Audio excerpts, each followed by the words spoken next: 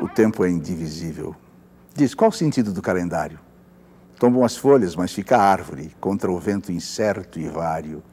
A vida é indivisível, mesmo a que se julga mais dispersa e pertence a um eterno diálogo, a mais inconsequente conversa. Todos os poemas são um mesmo poema. Todos os porres são o mesmo porre.